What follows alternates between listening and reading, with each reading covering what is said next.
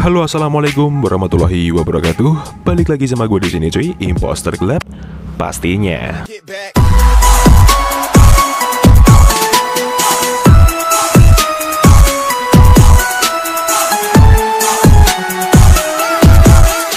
So, di video kali ini gue bakal bahas untuk Gcam kita lagi dan lagi aja Gcam kita 2.0 dengan config terbaru dari Imposter Club pastinya Apakah itu? Config Bossa Nova 5 by Imposter Club cuy Dan seperti biasa, di dalam config ini terdapat kata sandi dan ada tiga versi Yang pertama ada versi JPG, yang kedua ada versi OV, dan yang terakhir ada versi bawaannya Jadi kalian simak terus videonya sampai selesai, jangan di skip-skip Dan jangan lupa untuk like, komen, dan subscribe di channel Imposter Club Agar lebih berkembang dan memberikan konten tutorial bermanfaat untuk kalian semua. Terima kasih untuk waktunya. Mari kita langsung ke tutorialnya. Oke cuy, jadi yang pertama seperti biasa kalau kalian udah download file bahan-bahannya yang ada di link deskripsi video, kalian tinggal masuk ke manager file kalian. Di sini saya menggunakan Z Archiver dan kalian bisa mendapatkannya secara gratis di dalam Play Store. Oke, kita langsung masuk ke folder download seperti ini dan ini dia bahan-bahannya cuy. Ya. Pertama ada Bossa Nova Configs, Bossa Nova 5.zip ya. Yang kedua ini ada NGCam 7.4.2.0.apk yang ENG.apk ya pilihannya ya. Jangan yang lain-lain. Oke, yang langkah pertama kita lakukan adalah install aplikasinya terlebih dahulu. Berhubung saya sudah install, mari kita langsung buka Gcam-nya Oke kita buka gcam seperti ini dan kita langsung masuk ke pengaturan seperti biasa. Kita masuk ke settings Lalu kita ulir ke paling bawah. Nah ini dia kita masuk ke konfigurasi dan kita pilih simpan Lalu kita di sini isi bebas. Gunanya untuk memunculkan folder config 7 di dalam manager file kita ya. Kita simpan aja seperti ini. Lalu kita kembali ke manager file dan kita langsung ekstrak confignya. Oke, jadi password config ini ada di dalam video di sela-sela video ini ya. Jadi kalian simak baik-baik videonya sampai selesai berubah huruf cuy ya. Oke, kita klik seperti ini lalu kita pilih ekstrak ke dan kita isi passwordnya. Oke, jika sudah seperti ini, lalu kita klik OK, dan ini dia, sudah berhasil kita ekstrak ya, Bossa Nova 5 nya. Oke, kita langsung buka, dan ini dia ada tiga versi, yang pertama ada Auto, yang kedua ada JPG, dan yang terakhir ada YUV. Kita pilih semuanya seperti ini. Oke, jika sudah seperti ini, kita boleh salin, boleh kopas ya, kita potong aja di sini, dan kita langsung masuk ke manager file perangkat kita, lalu kita masuk ke folder Gcam, dan langsung masuk ke folder config 7, lalu kita paste di dalam sini ya cuy ya. Kita paste aja, Oke, jika sudah seperti ini, tandanya kita sudah berhasil untuk memasukkan config Bossa Nova 5-nya di dalam Gcam kita 2.0. Sekarang kita langsung buka Gcam-nya. Dan seperti biasa, kita ingin memunculkan opsi config, kita tinggal tap dua kali di samping tombol shutter di bagian hitam-hitamnya seperti ini. Oke, jika sudah seperti ini, lalu kita cari config-nya dan sesuaikan level kamera 2 API kalian ya. Di sini level kamera 2 API saya masih level 3, jadi saya menggunakannya untuk level kamera 2 API-nya YUV ya config-nya aja ya. Di sini saya pilih YUV dan kita langsung kembalikan seperti ini. Dan ini sudah siap untuk digunakan config Bossa Nova 5-nya seperti apa hasilnya? Mari langsung kita coba. Let's go. Oke cuy, jadi kita langsung masuk aja ke interface-nya Gcam di kita 2.0 dan kita lihat rinciannya di mode kamera terlebih dahulu. Kita aktifkan AWP-nya dan rasio gambar 16 banding 9. Kita shoot menggunakan mode kamera. Oke, HDR-nya teratur ya, ini muternya aja. Kita lihat hasilnya.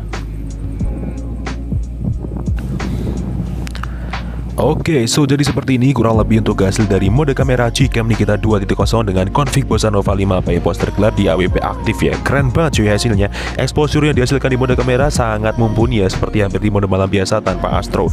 Dan detailnya sendiri cukup tajam. Di sini kedalaman ketajamannya juga masih maksimal ya cuy ya digunakan untuk malam hari seperti ini. So sekarang kita coba di AWP non aktif tuh selanjutnya seperti apa? Mari kita coba.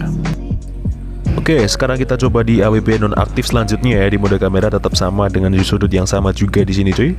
Dan kita langsung shoot aja seperti ini. Apakah ada perbedaan yang sangat signifikan atau tidak ya? Oke, nice. Kita tunggu hasilnya seperti apa. Kita lihat ya cuy ya. Oke, jadi seperti ini kurang lebih untuk hasil dari mode kamera Gcam kita 2.0 dengan config Bossa Nova 5 PM Poster Club di mode kamera tanpa AWB aktif ya. Kalau di tanpa AWB aktif nih ada semu-semu ada birunya nih kayak gini ya cuy ya. Jadi ini lebih seger aja ketimbang di AWB aktif yang sangat sedikit warm dan kontrasnya juga mengencang ya. Kalau di rona kulit manusia di AWB non aktif juga sangat lebih natural ketimbang di AWB aktif ya cuy ya. So sekarang kita review menggunakan mode potret selanjutnya seperti apa? Mari kita coba.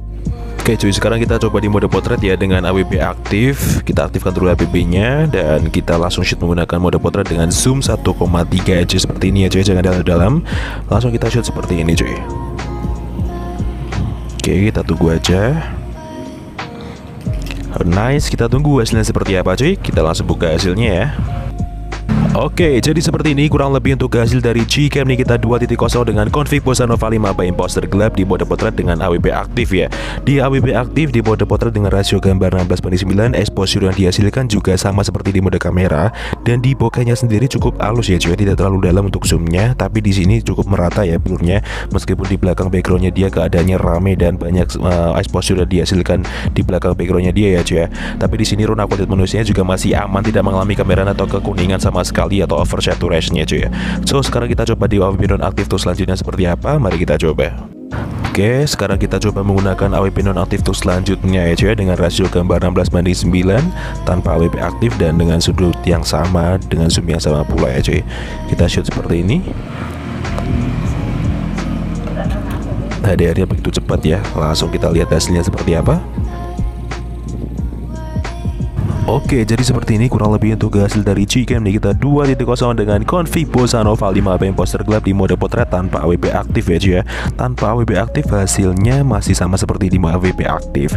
Tapi di sini terlihat ya di rona kulit manusianya sedikit kontrasnya terlalu kencang ya cuy ya.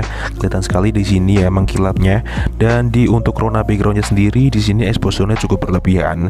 Meskipun warnanya tetap sama cenderung sama dan semu-semu ada birunya seperti ini ya cuy ya.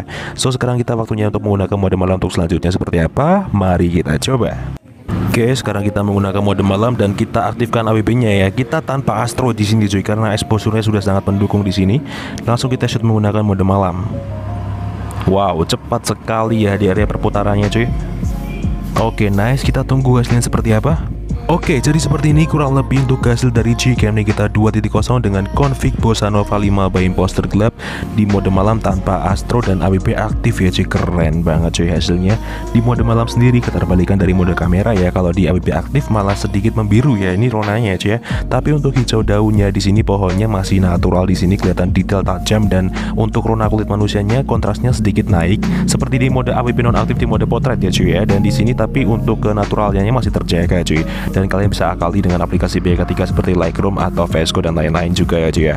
So sekarang kita coba untuk membuat thumbnail untuk cover video ini. Jadi seperti apa untuk hasilnya? Kalian simak terus videonya sampai selesai ya cuy ya. Let's go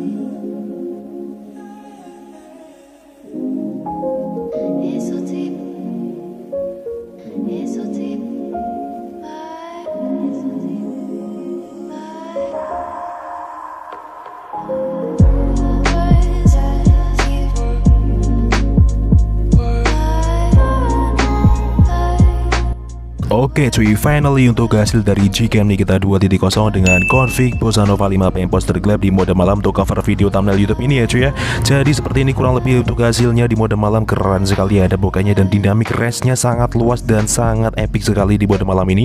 Meskipun di rona kulit manusianya sedikit menguat kontrasnya tapi tidak apa-apa bisa diakali dengan aplikasi pihak ketiga ya cuy ya. So jadi mungkin cukup itu aja yang bisa direview pada video kali ini mengenai Gcam kita 2.0 dengan config Bossa Nova 5 PM poster gelap. Jika ada kurang lebihnya mohon dimaafkan dan ada kritik dan saran bisa disampaikan di kolom komentar. See you next time, enjoy the video dan sampai jumpa.